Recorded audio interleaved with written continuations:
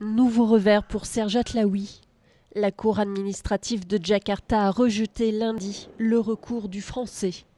Condamné à mort en 2007 pour trafic de drogue en Indonésie, Serge Atlaoui contestait le refus du président indonésien de lui accorder une grâce. Les juges ont estimé qu'il n'était pas compétent pour examiner la décision présidentielle. Ce rejet n'est qu'une demi-surprise. D'autres condamnés à mort avaient tenté en vain de contester le refus du président Joko Widodo devant la justice. Le 29 avril, huit d'entre eux, des étrangers pour la plupart, ont été exécutés malgré les vives protestations internationales. Serge Atlaoui avait été retiré de la liste au dernier moment.